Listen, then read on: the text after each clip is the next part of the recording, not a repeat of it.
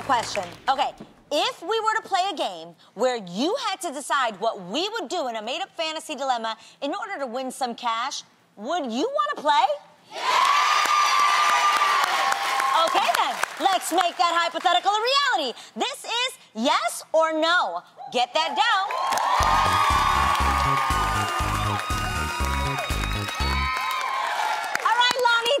This works. Okay, before the show, we surveyed our gorgeous audience out here. Hey!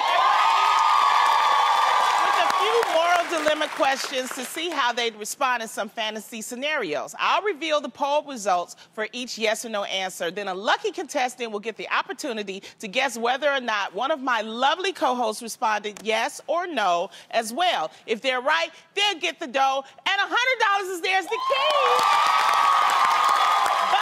If they're wrong, they'll be taking home a priceless T-shirt from real. It's Steve. Okay. Who wants to play? First up from Rancho Cucamonga, California, Savaria Sanders. Where are you? Oh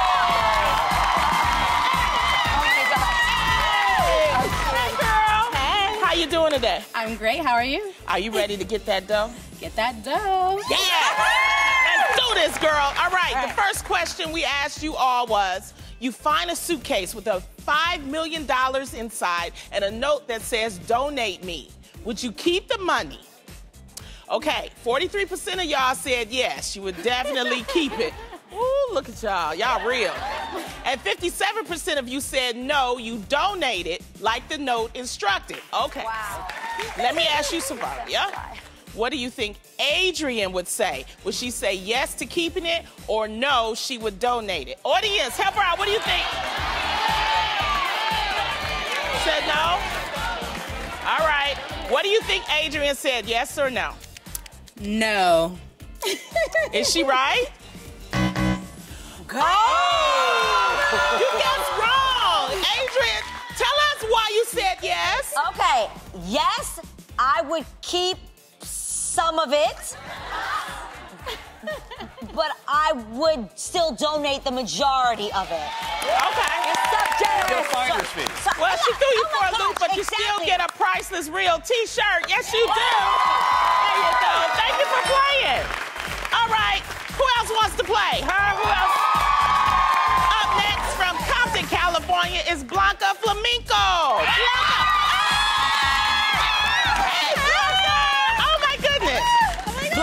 Yes or no? Do you think you can do this? Um, I can definitely do this. All right. I got it. I got it. We got you. Here's our next question. We asked you, beautiful people, was a famous artist makes a sculpture of you. It took them five years to make, but looks nothing like you.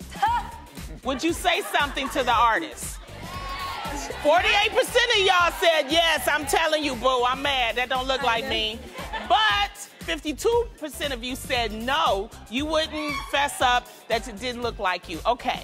So Blanca, do you think Dr. Drew would say yes or no? Audience, help us out. You think Dr. Drew would say, tell the artist or what? You think he'd say yes? You think he? No. Look at his face. What do you think? You think he would say yes or no? Um, I think he would say no. I think he's uh, he'll be afraid like to hurt their feelings or something. It's been five years that they're working on it. Okay. It's, it's very true. I'd be very afraid to hurt their feelings, but I would blame myself as being unable to appreciate a great piece of art. My kind of man. You would really tell? How would you tell him? I would send you in. That's you doing your dirty work. I know he has me always doing it. Well you get a priceless T-shirt though. Yeah, that's a priceless clean T-shirt. There you go. Thank you for playing, Blanca.